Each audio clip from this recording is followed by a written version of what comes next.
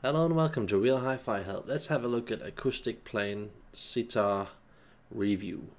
So this is an amplifier. I think it's 40 watts class A. Um, build quality kind of okay, you know.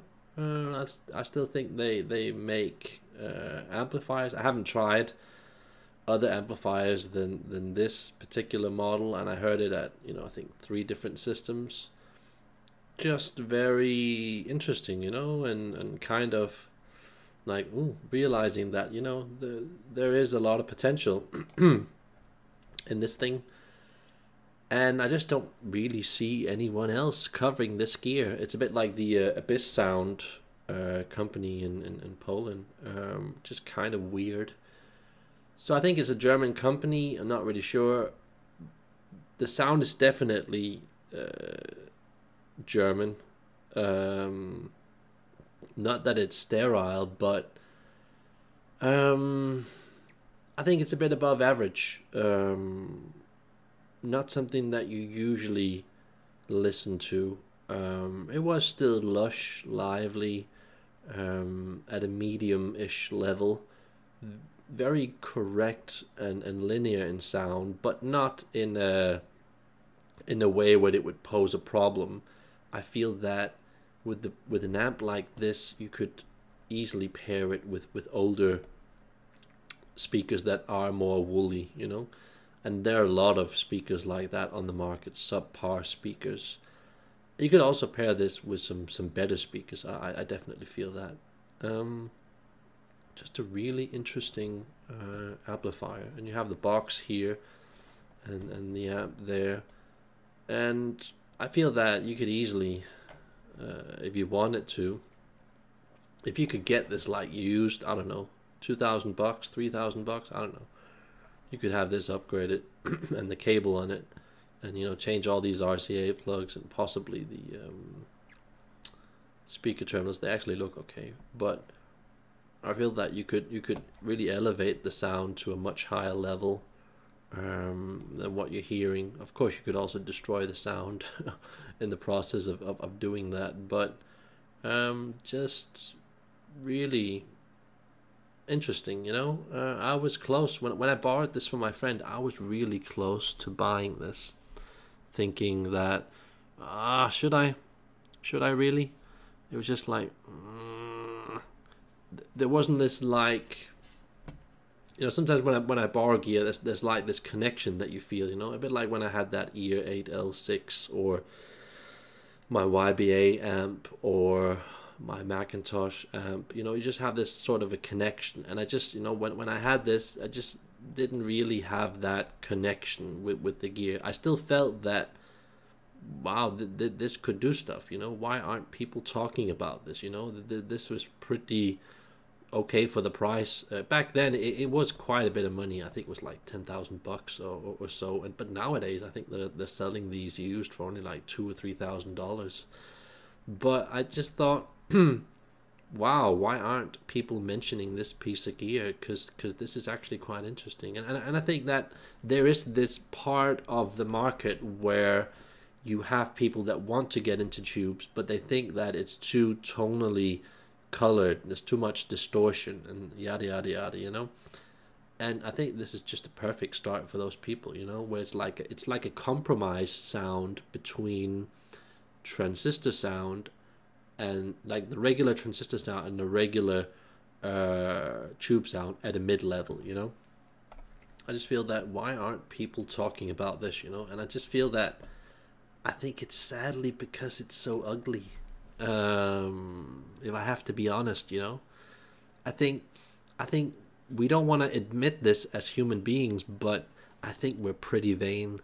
That just if this had a more sexy front and some watt meters, and you know this did a light show or whatever, I think this would would easily sell. Um, but it's based. It's like looking at, at, at a Duplo block on on a box with with an extra box, and you're like, I think a lot of people just don't want that extra box. Of course, you could hide this underneath the table or whatever you put it. Um, but I just felt that you know, here we had some untapped potential. You know, if you if you're lucky to get a sort of thing like this used, I believe that, you know, mm, the tubes if you change those, perhaps if you change the cable. I'm not sure about that, and I'm also not sure about changing these uh, terminals. They actually look pretty decent. They could potentially be CMC gold. I'm not sure um, but at least the RCA ports, I know that those RCA ports are like horrible. They have them at a lot of gear in this price range.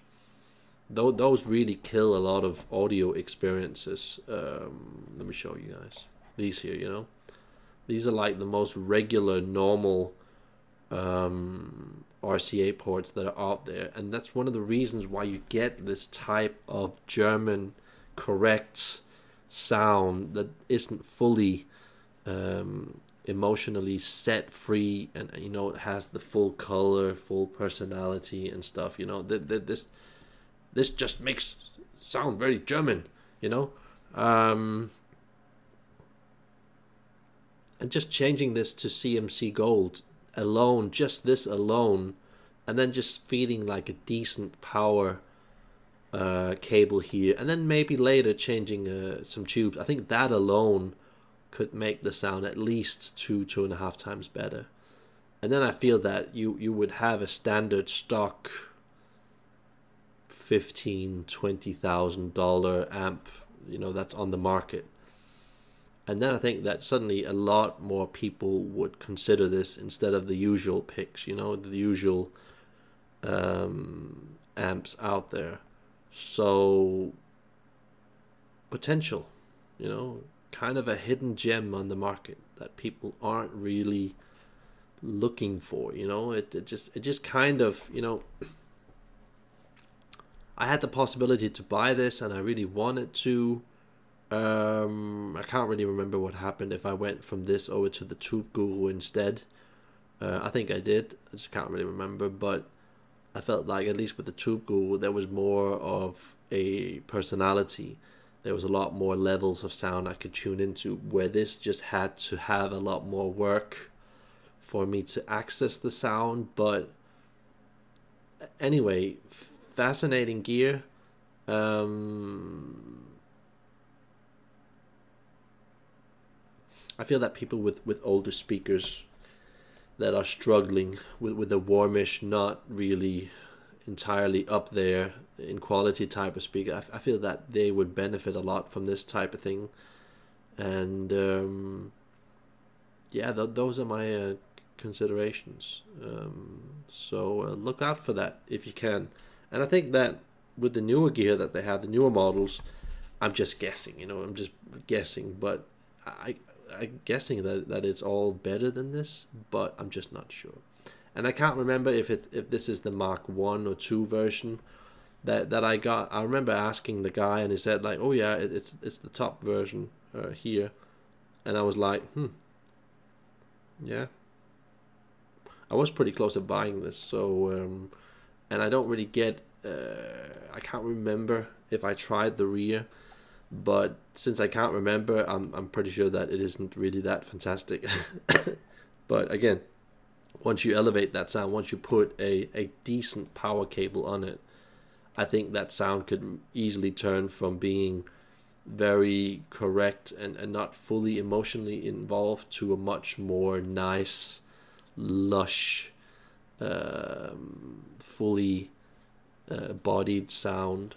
Um, so yeah, look out for that. Look out for that. That's that's really like a hidden gem out there, I would say. So that's me logging off and like and subscribe if you can. Bye.